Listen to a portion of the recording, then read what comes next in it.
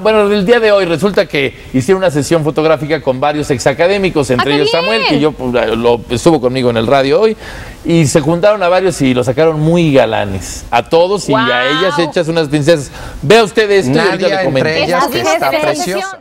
Nadia y las chicas de G6 mostraron su mejor cara durante una divertida sesión de fotos para renovar el catálogo de TV Azteca y a la que Ventaneando tuvo acceso.